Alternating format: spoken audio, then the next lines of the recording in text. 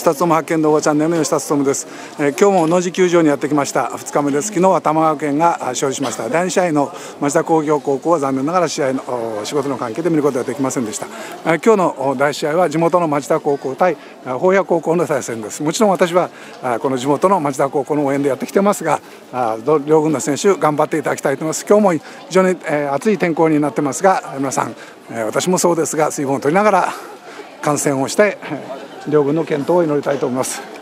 どうぞ今日の試合皆さん頑張ってください、えー、今日はところで何試合行われるでしょうか。私はその10時からの試合の松田高校の応援に来ております。終わります。